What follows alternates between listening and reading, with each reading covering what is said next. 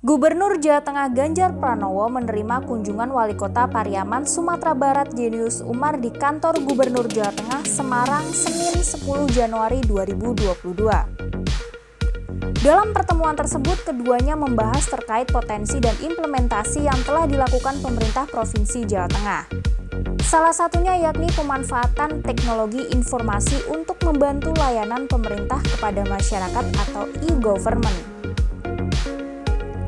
Selain itu, Ganjar turut berdiskusi mengenai peningkatan perekonomian dengan memanfaatkan investor di Jawa Tengah, lalu mendongkrak pendapatan masyarakat dengan mempromosikan usaha mikro kecil dan menengah atau UMKM.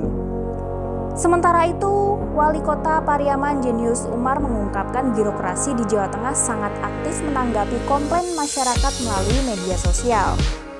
Selain itu, terobosan Pemprov Jawa Tengah untuk meningkatkan perekonomian cukup menarik perhatian.